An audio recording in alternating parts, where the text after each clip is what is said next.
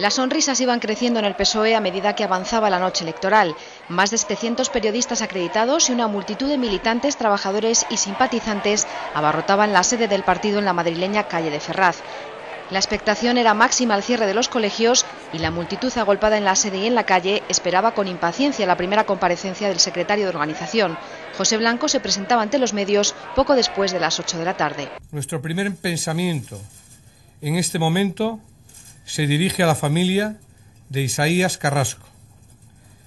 A ellos quiero dirigir también mi primer mensaje, nuestro primer mensaje. Os queremos y siempre estaremos a vuestro lado, con vosotros y con todos los que en estos cuatro años y antes han sufrido la brutalidad del terrorismo. Según los datos conocidos, estas han sido unas elecciones de alta participación ciudadana. La participación se situará en un nivel muy próximo al de las elecciones generales de hace cuatro años. Pasaban los minutos y los nervios iban creciendo. Todo apuntaba ya, así lo señalaban los sondeos de todas las televisiones, a una victoria del Partido Socialista.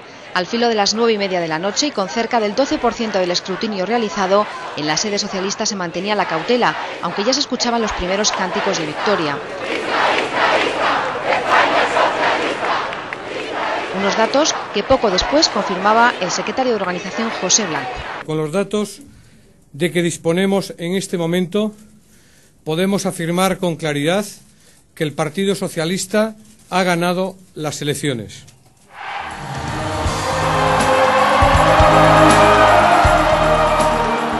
Minutos antes de las 11 de la noche comparecía el candidato y ya presidente del Gobierno en funciones, José Luis Rodríguez Zapatero, ante los cientos de personas congregadas a las puertas de la sede socialista.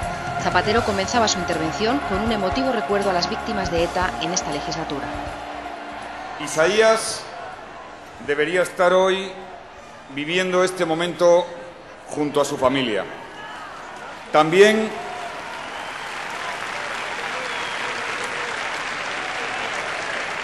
También Carlos Alonso Palate, Diego Armando Estacio, Raúl Centeno y Fernando Trapero, igual que sentimos la ausencia de todas las demás víctimas del terrorismo. Ellos viven en nuestra memoria.